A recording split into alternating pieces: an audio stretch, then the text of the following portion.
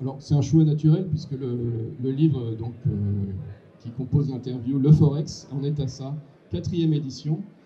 Il a été lancé pour si je me souviens bien, euh, il y a plus d'une décennie en fait, fin, fin des années 2000, pour sa, son édition initiale et régulièrement, donc, puisque c'est un succès, euh, l'éditeur me demande de le remettre à jour, notamment pour suivre les évolutions. Donc en fait, c'est vrai que par rapport à la toute première édition, et on en parlait à l'instant, mes choix de, critères en fait de, ce marché, les choses évoluent et continuent d'évoluer. Donc là, il en est à sa quatrième édition, et dans 2-3 ans, très certainement, il, il fera la cinquième édition. D'autant plus qu'il y a pas mal de bouleversements ces derniers temps avec les crypto-monnaies qui, de fait, depuis le 7 septembre 2021, on a le Bitcoin qui est devenu une monnaie légale à part entière, puisqu'il a cours euh, légal sur euh, un territoire euh, de cette planète, c'est-à-dire le Salvador. Alors ça paraît comme ça anecdotique, mais c'est quand même une, grande étape qui fait qu'on a une, interpolarité qui, devient de plus en plus grande entre le, marché des cryptos naissants et un forex, comme je vous le disais, millénaire, avant que commence l'interview. C'est un marché millénaire, et donc on a comme ça ce choc entre une, sorte d'enracinement euh, du Forex avec une modernité euh, que l'on a du côté des cryptos et, de toute la technologie des blockchains. Et on a désormais des passerelles qui sont de plus en plus grandes. Et donc, pour cette quatrième édition, évidemment, il est, sorti avant que le Bitcoin ne devienne une monnaie légale, donc on n'en parle pas.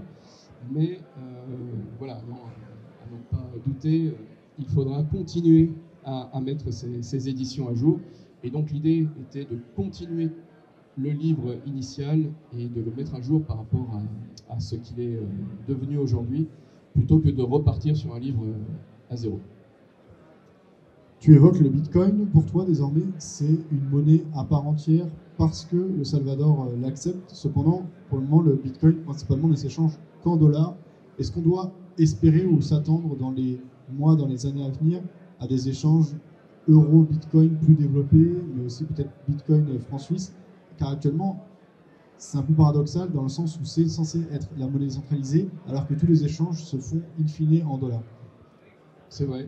Mais en fait, quand on regarde ce qui se passe actuellement sur le Forex, actuellement sur le Forex, euh, quand vous passez d'une monnaie à une autre, euh, par exemple, prenons la paire, euh, typiquement une, paire de le Real brésilien, par exemple, euh, avec, si vous, la, si, vous, si vous faites une position Real brésilien franc-suisse, vous n'allez pas être en direct. Derrière, il y a la, devise pivot euh, qui est évidemment le dollar américain. Et donc, de fait, le dollar américain, sur la plupart des devises, sur la plupart des paires de devises, pardon, reste une monnaie pivot, même si elle n'apparaît pas. Et donc, euh, on revient finalement à ce, à euh, cette fameuse théorie qui est que le dollar américain reste encore aujourd'hui effectivement la devise mondiale euh, par excellence et euh, la devise par laquelle la plupart des échanges passent, quoi qu'il en coûte et quoi qu'on en dise. donc le, Bitcoin ne fait pas exception. Alors attention, on est le 1er octobre 2021. Le, le Bitcoin a donc cours légal depuis même pas un mois. Et donc tout ça est tout nouveau. Donc on en reparlera dans quelques années. Et dans quelques années, à mon avis, on aura typiquement le, Bitcoin aux côtés de, de, cotations de grandes paires majeures. C'est déjà le cas finalement de manière synthétique avec l'euro, avec le franc suisse, avec euh, évidemment la livre sterling et, le, et, le, yen japonais. Mais derrière, on passe effectivement, comme tu l'as dit, par le dollar américain, comme pour la plupart des, pour la plupart des devises de fait dans le monde actuellement. Donc pas de révolution à ce stade en fait. Juste une confirmation que malgré tout, le dollar américain malgré tout, euh, critique qu'on peut lui porter, le dollar américain reste la monnaie de référence aujourd'hui en 2021 encore. Alors, excuse-moi d'insister sur les crypto-monnaies, alors qu'on doit parler du Forex, mais du coup, c'est quand même lié parce qu'aujourd'hui, avec les fortunes qui se sont faites en crypto-monnaie, ou en tout cas la capitalisation qui a largement augmenté, on a eu un développement des stablecoins, c'est-à-dire des crypto-monnaies qui reflètent exactement l'évolution du cours d'une monnaie. là aussi, c'est principalement le dollar. Est-ce qu'on peut penser aujourd'hui que les États-Unis ont réussi à s'imposer dans le secteur des crypto-monnaies et à quelque part marquer leur empreinte et euh, ce secteur comme ils le font toujours finalement euh, et imposer l'extraterritorialité, pardon, territorialité euh, y compris sur les crypto-monnaies. Est-ce que ça te semble être le cas? Alors oui, c'est le cas, et les, stablecoins comme bah, l'USDT, qui est la, stablecoin par excellence, en fait, effectivement, est une façon de pouvoir faire une transaction sans pouvoir repasser par une monnaie physique. Et donc à ce moment-là, ça évite les impositions, en tout cas à ce stade, en 2021, ça évite beaucoup de choses en fait. Et ça évite aussi euh, de la perte au feu, des commissions euh, excessives, etc. Donc euh, on a ces stablecoins qui existent pour ça, qui sont des répliques finalement des monnaies légales. Et derrière, on demande à ceux qui émettent ces stablecoins voilà, d'avoir des réserves un peu comme les banques. Alors il y a un débat parce que ces, demandes sont, sont, à des niveaux qui sont beaucoup plus grandes que les banques actuellement. Donc il y a une sorte de, il y a une sorte de. Comment dire, comment dire les choses? Il y a une sorte de, voilà, de, traitement qui n'est pas de faveur, au contraire, qui, défavorise finalement les, cryptos et notamment les stablecoins à ce stade, en 2021. Mais je pense que là aussi, les choses vont évoluer et qu'on en reparlera dans quelques années. Tout ça va se uniformiser. Et comme on l'a dit en introduction, on a déjà euh, le, Forex et les crypto-monnaies qui commencent à fusionner en quelque part grâce à, ce cours légal sur le Salvador et demain au Panama et dans d'autres pays d'Amérique latine du Bitcoin. Et donc finalement, on va avoir euh, voilà, le Forex étendu avec les cryptos et, de l'autre côté, on va avoir les cryptos qui, euh, vont acquérir leur lettre de noblesse comme le Forex euh, l'a eu depuis des, décennies. Et donc c'est le sens de l'histoire et ce n'est pas la Chine avec ses décisions, on va dire, un petit peu autoritaires qui vont euh, changer le cours parce que c'est un rouleau compresseur l'histoire et euh, il va falloir beaucoup plus qu'une décision sur un pays, fut-il euh, fut aussi important. puisque le, reste du monde et notamment les États-Unis sont quand même très très ouverts à cette technologie et, vont plutôt essayer d'en tirer parti et, plutôt que, que de l'interdire. C'est la même chose, tout ce qui se passe sur les cryptos, c'est un peu la même histoire alors c'est pas identique, mais c'est similaire. C'est la même histoire que l'histoire d'Internet. L'histoire d'Internet a été euh, à l'origine créée pour des besoins militaires particuliers, et ensuite ça, a évolué pour que le grand public s'en accapare. Euh, des pays typiquement comme la Chine contrôlent cela de manière très forte, et puis des pays comme les États-Unis euh, ont laissé le, champ libre, parce que c'est comme ça qu'on va de l'avant, c'est comme ça qu'on prend toujours finalement de l'avance sur ses concurrents. Et je pense que les cryptos, la blockchain, les NFT et toutes ces technologies qui sont pour l'instant au stade de la préhistoire ne, demandent qu'à évoluer dans ce sens. Cependant, cette préhistoire va, évoluer très vite parce qu'on est sur des, mouvements qui n'ont rien à voir avec ce que je décris sur le Forex, qui lui date depuis le troc et depuis donc des, millénaires, comme je disais. Pour en revenir au Forex, quels sont les pour en revenir au Forex, quelles sont les dernières actualités ou euh, modifications de ce marché millénaire Tu le disais, euh, tu as la quatrième édition. Quelle grande tendance vois-tu? Euh, A priori, sur les paires de devises majeures, on a une volatilité qui était plus faible. Ça s'est un peu excité quand même avec le, le Covid, mais dans l'ensemble, on a une volatilité qui est moindre. Voilà, quelles sont les grandes tendances de manière générale sur le Forex? Alors la, grande tendance qui est décrite dans, cette édition, c'est euh, ces fameuses lettres de noblesse qui, euh, ont été encore plus euh, en avant sur le marché des devises classiques, puisque désormais l'ESMA en, Europe a régulé de manière assez forte quand même ce marché. Et donc si vous traitez sur le Forex, désormais en Europe, vous avez un effet de levier qui est contraint, c'est-à-dire 30 maximum sur les majeurs, 20 maximum sur les mineurs et exotiques.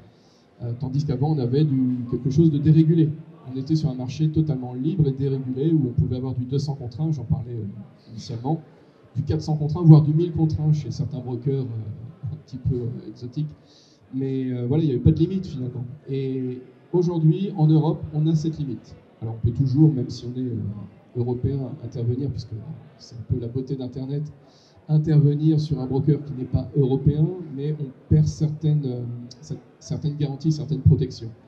Et donc c'est un choix mais en tout cas, si vous êtes en Europe et que vous traitez avec un broker européen, vous avez une garantie, une protection, une protection contre les, comptes qui deviendraient négatifs suite à des, fortes, euh, des forts mouvements de marché. Donc, euh, vous ne pouvez pas perdre plus que le capital initial engagés sur le compte. Donc ça, c'est pertinent. On a aussi des sortes de, de stop intermédiaires pour ne même pas réussir à arriver jusqu'à ce, ce, fameux game over et ce fameux zéro. Donc vous avez des, des, protections intermédiaires comme ça, la ségrégation des fonds et évidemment l'effet de levier qui euh, est censé protéger les particuliers, un peu comme euh, finalement la vitesse sur autoroute qui est limitée à 130.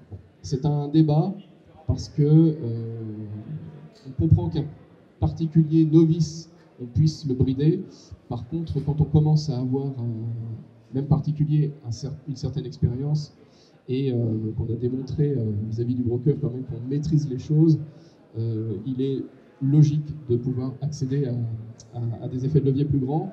Et, c'est pour ça qu'il peut toujours, mais on, sort de, la catégorie des particuliers, on passe professionnel pour avoir un effet de, levier plus grand. Donc pour résumer, on a une régulation qui s'est mise en place, que je décris dans le livre, qui est récente, hein, qui, date de 2018, hein, donc on est euh, sur euh, l'actualité. Alors l'actualité au niveau du, forex, euh, il y a de l'inertie, hein, donc c'est un marché millénaire, les choses évoluent comme ça. Ça va moins vite que sur les cryptos, mais voilà les, dernières tendances. Et on a également, et c'est pour ça qu'on a cette mise à jour aussi sur la quatrième édition, un nouveau, un nouveau rôle de, des, banques centrales qui interviennent de plus en plus et qui, depuis la, crise Covid, en quelque part, euh, nous, le montre à, puissance, euh, puissance 100. Donc puissance 10, puissance 100. Donc on est euh, effectivement sur des banques centrales qui font le marché aujourd'hui, euh, j'ai presque envie de dire, à 100%. jamais rien n'est absolu sur le marché, mais en tout cas c'est pour l'instant, en 2021, elle qui drive les choses. Et c'est pour ça que le Forex est un marché, même si vous n'intervenez pas directement dessus, qu'il est quand même important de comprendre, de regarder, euh, un peu comme le marché du pétrole. Le baril du pétrole, c'est important de regarder à quel niveau il est, de comprendre euh, l'état des stocks, etc., même si vous êtes sur les actions. Parce qu'à partir du moment où, euh, il peut y avoir des pénuries ou des prix trop élevés, on peut avoir des effets sur les actions. Donc c'est pareil pour les effets de change, c'est quelque chose qui peut impacter les actions et, et d'autres marchés. Tu parles, oui,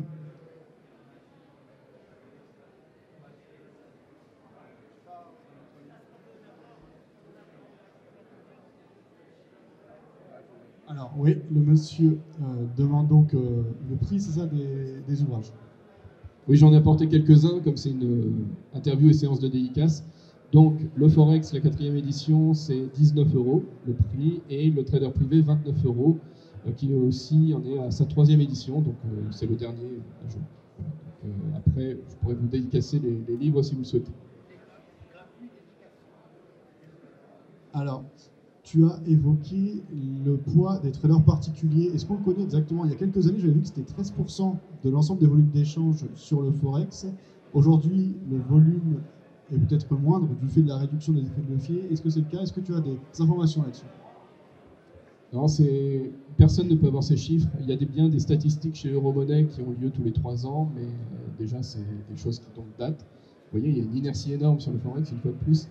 Et surtout, c'est du déclaratif, c'est pas forcément très pertinent et les particuliers ne sont pas forcément ceux qui déclarent, euh, puisqu'ils ne sont pas forcément interrogés euh, euh, par, les organismes. Mais c'est vrai que la part, de toute façon, sur ce marché qui, donc fait bouger l'équivalent en dollars américains de 5 000 milliards de dollars tous les jours, tous les jours quand, la place de Paris ne, ne fait bouger qu'à peu près 3-4 milliards par jour, l'équivalent euro, donc on est sur euh, quelque chose qui a un ordre de grandeur de fois 1000 par rapport au marché des actions parisien.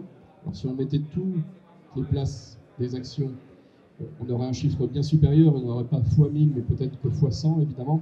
Mais vous voyez qu'on est sur quand même un effet d'ordre de grandeur qui est, quand même incomparable, une liquidité incroyable.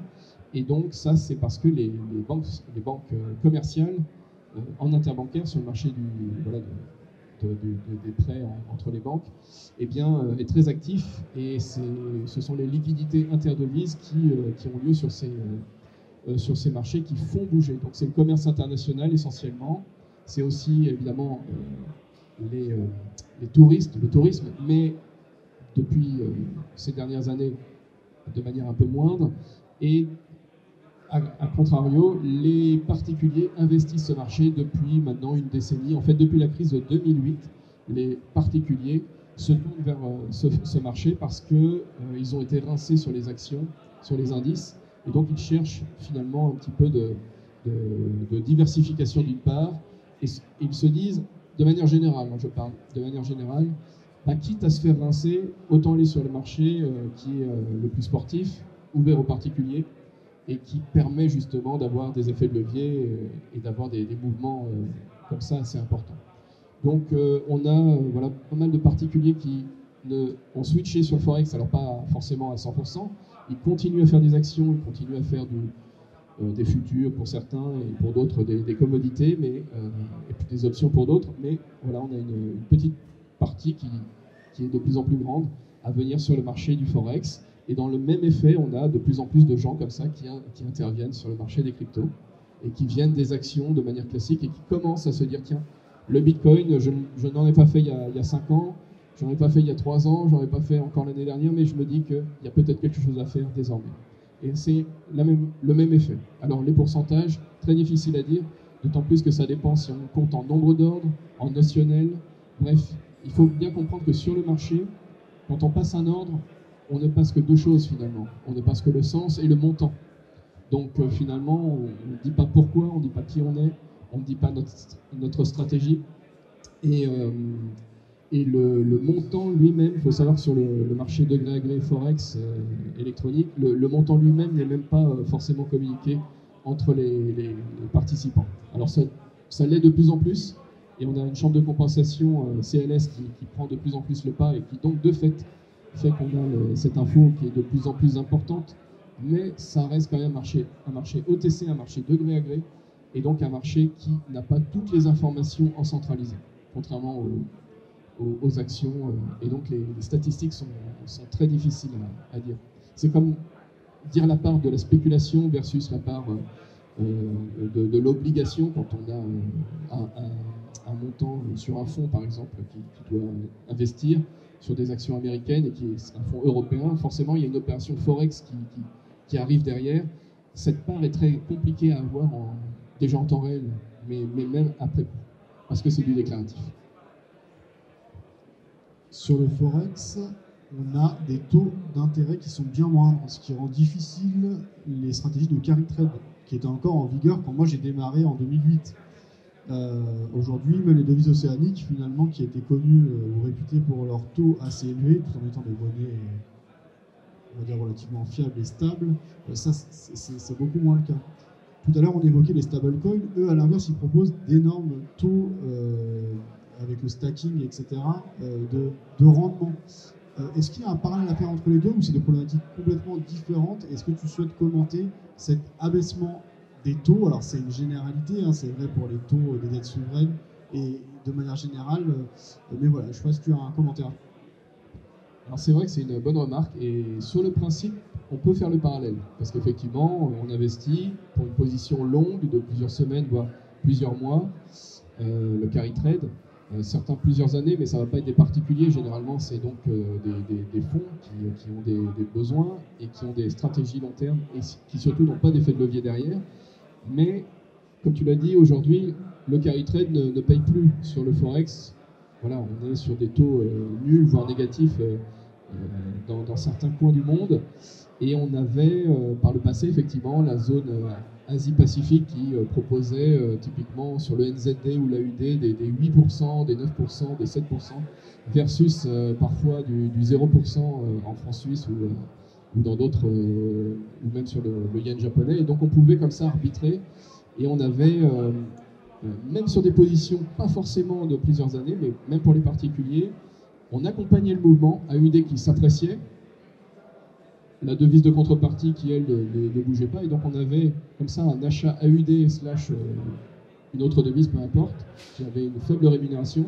On gagnait sur le mouvement et on gagnait aussi sur le taux qui était un peu la cerise sur le gâteau, mais c'était pas ça qui faisait évidemment le, le, trade, mais au moins ça allait dans notre sens. C'est comme si ça nous payait les commissions, voire plus.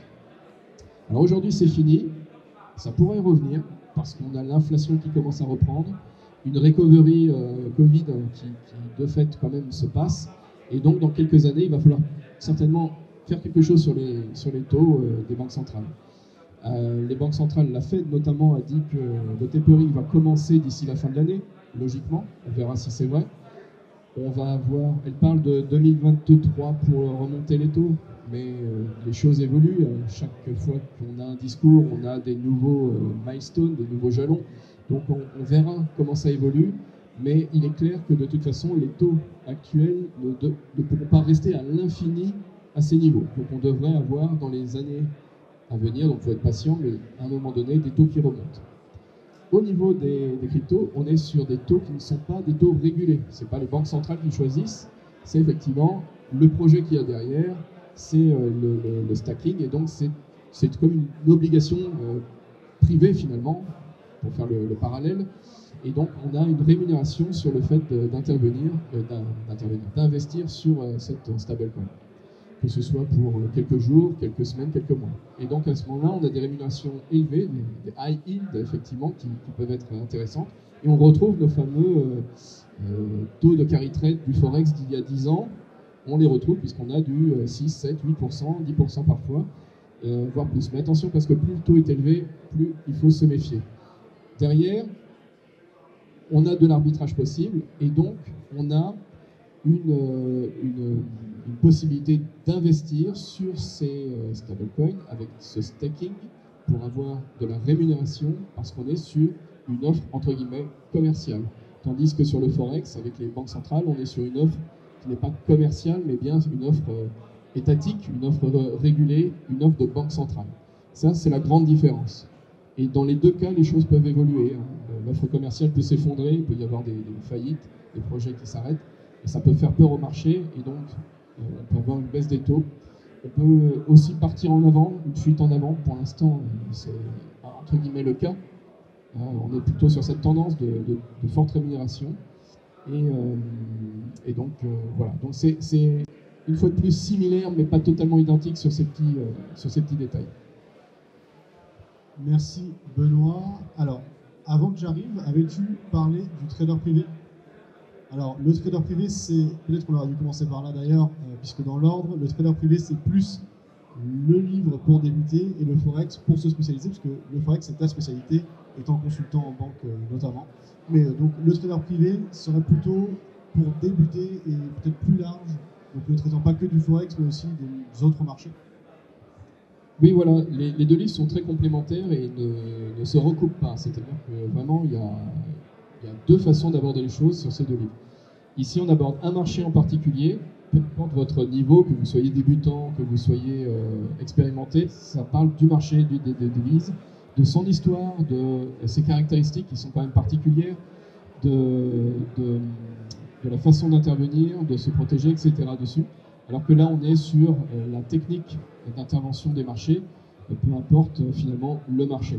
Donc là, c'est pour les actions, les futurs, le forex évidemment, les commodités, etc. Et là, c'est focus sur le marché. donc le forex, même si vous, je me répète, mais même si vous n'intervenez pas dessus, il est toujours important d'avoir un, œil sur l'évolution des devises, comme il faut avoir un œil sur l'évolution du, pétrole et sur l'évolution même, si vous faites que des actions françaises, eh bien, un œil sur le S&P 500, sur le Dow Jones, sur les valorisations notamment aux États-Unis, puisque c'est ça qui drive beaucoup le, reste du monde.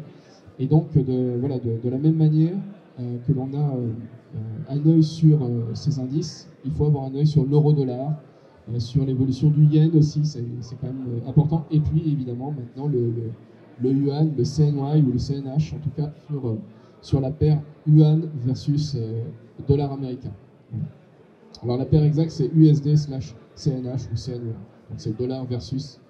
Si ça baisse, c'est le yuan qui monte. Si ça monte, c'est le, dollar, le dollar qui baisse et donc le yuan qui monte. Donc toujours avoir un œil sur ces, sur ces paires. Et euh, les deux livres donc, sont, donc effectivement très complémentaires. Merci pour cette présentation Benoît. Tu peux donc euh, dédicacer les livres euh, aux intéressés. Est-ce qu'il y aurait des questions pour Benoît? S'il y en a pas, on va conclure cette interview et je crois qu'on va te retrouver dans un débat plus tard dans l'après-midi. Oui, alors les questions avaient commencé avant l'interview, effectivement, donc il, y en a plus.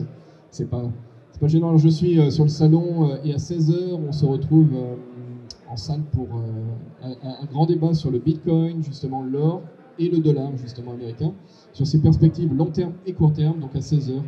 Et, en attendant, oui, je, peux dédicacer des ouvrages pour ceux qui le souhaitent. Merci.